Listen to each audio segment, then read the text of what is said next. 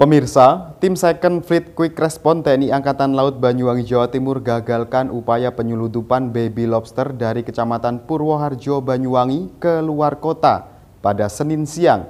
Dalam upaya penangkapan ini sebanyak 9.244 baby lobster dan dua pelaku kurir penyeludupan berhasil diamankan petugas. Pemirsa, upaya penyelundupan ribuan baby lobster dari Kecamatan Purwoharjo, Banyuwangi berhasil digagalkan oleh tim Second Fleet Quick Response atau SFQR Pangkalan TNI Angkatan Laut Banyuwangi pada Senin siang. Dari hasil penangkapan ini, 9.244 baby lobster yang dikemas rapi di dalam puluhan kantong plastik berhasil diamankan oleh petugas. Baby lobster senilai ratusan juta tersebut sedianya akan diselundupkan para pelaku keluar kota. Aksi penyelundupan baby lobster ini berhasil digagalkan berkat pengintaian petugas di pemukiman warga di kawasan pesisir Kecamatan Purwoharjo, Banyuwangi.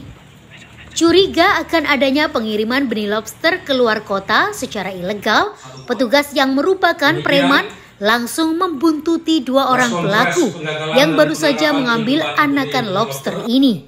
Benar saja saat berada di tengah perjalanan sebelum keluar wilayah Banyuwangi, sebuah mobil pembawa ribuan benih lobster yang dibawa dua orang ini langsung dihentikan petugas. Petugas langsung melakukan upaya penggeledahan dan menemukan ribuan baby lobster di dalam mobil.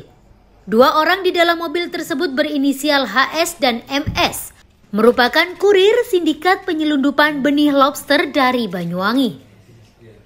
Dari pengakuan kedua pelaku, ribuan benih lobster itu merupakan pesanan seseorang di luar kota Banyuwangi. Namun, para pelaku mengaku tidak mengetahui akan diselundupkan ke tujuan mana benih-benih lobster tersebut karena masih menunggu konfirmasi dari pemesan. Modus penyelundupan terputus ini sering digunakan para pelaku penyelundup baby lobster untuk mengelabuhi petugas. Modus ini juga dilakukan para pelaku dengan tujuan agar mata rantai penyelundupan barang ilegal hanya bisa terdeteksi petugas di kalangan kurir saja. Penangkapan tersangka pelaku berawal saat anggota tim SFIR memantau adanya kegiatan yang mencurigakan di salah satu rumah warga di wilayah selatan Banyuwangi sampai akhirnya mendapatkan keyakinan bahwa ada benih lobster yang akan diselundupkan keluar wilayah Banyuwangi. Akhirnya tim SPR mengambil langkah pencegahan dengan melakukan penyergapan terhadap tersangka pelaku sebelum keluar wilayah Banyuwangi. Hasil penyergapan tim SFQR mengambil langkah dengan melakukan penangkapan tersangka sebelum keluar Banyuwangi. Dua orang tersangka inisial HS dan MS yang membawa barang benih-benih lobster jenis pasir sebanyak 9.244 ekor menggunakan mobil sedan warna hitam berhasil diamankan. HS dan MS merupakan kurir yang bertugas mengantarkan barang kepada seseorang yang hanya kurir tersebut mengetahui nomor teleponnya saja dengan inisial IR alias RO.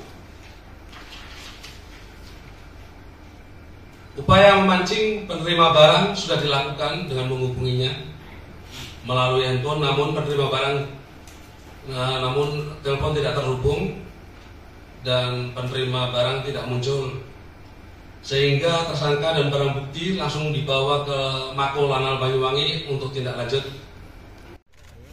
Bekerja sama dengan pihak kepolisian Polresta Banyuwangi, petugas masih terus berupaya melakukan upaya pengembangan kasus.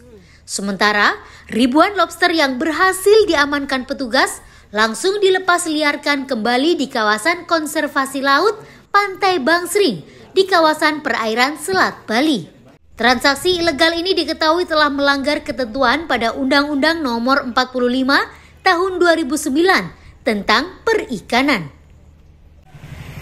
Dari Banyuwangi, Jawa Timur, Tim Liputan Banyuwangi 1 TV melaporkan.